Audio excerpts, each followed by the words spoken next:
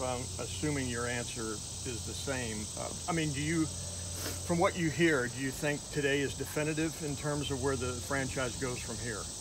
Um, it, it certainly clears up the picture, I think, uh, in terms of a lot of the ambiguity of, of the situation. Um, whether the vote passes or not, it, will it'll allow um, some decisions to be made to either progress or, or not. So I think from that perspective, it's it's good to have some some light shed on what's going on. Sure. As a hometown guy playing for his team, um, how unsettling would that be for you to move to Austin?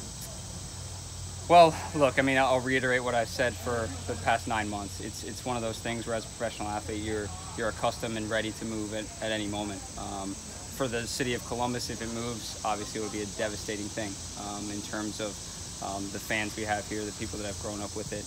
Um, not even just myself, obviously, but um, yeah. there's there's tons and tons of people that um, this club means a lot to them. So if it moves, like I said, it'll be devastating for them to me, uh, it's not just the crew. Uh, this, for many years, has been to me the spiritual home of U.S. soccer, and to to lose perhaps that niche as well is another byproduct. Sure, sure. Um, the Dos Cero, all the, the, legendary games that we've had at, at Stadium um, mean a lot to U.S. soccer as well. But um, the evolution of this sport um, won't be forgotten with the history of, of what's happened at um, that stadium. So either, ten, either way we're 10 months in. I mean, you're prepared for anything, I guess. Absolutely. We got to keep moving. We got to keep moving forward. We have a big game on Sunday.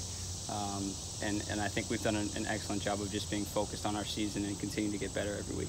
How do you think you've handled juggling the on the field and off the field as you kind of reflect a little bit on everything that you've been through these last 10 months? Like, how do you think you've handled it? I think we've handled it extremely well. Um, better than most people would probably expect it. Why do you think that's been the case? I think it, it comes from, from Greg and, in the way in which he's approached it and, and allowing us to just focus on what our job is. And our job is to play soccer. Um, and, and that has been our sole purpose since the announcement was made last year and until this point today. What's it been like the, the fan support that you guys continue to receive, even as things have been challenging? Yeah. I mean, people are still coming out and you still have people that care. Yeah. I mean, that's, that's the reality of, of this club and what it means to people.